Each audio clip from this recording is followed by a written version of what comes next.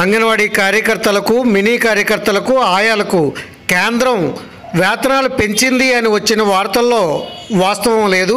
HM టీవీలో వచ్చిన scrolling కూడా ఇదే తెలియజేస్తోంది.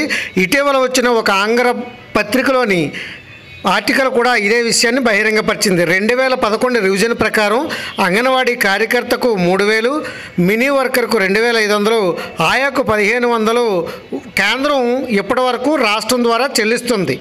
ఇప్పటి నుంచి ఏమైనా చెల్లించాల్సి వస్తే దానిపై ఎటువంటి స్పష్టమైన నిర్ణయాన్ని ఇంకా తీసుకోలేదు. పెంచాలనే ఆలోచన మాత్రమే ఉంది. కాబట్టి ఈ విషయాన్ని పేపర్ క్లిప్పింగ్ను మీరు జాగ్రత్తగా చూసి దయచేసి తెలుసుకొని గమనించాలని కోరుతా ఉన్నాను.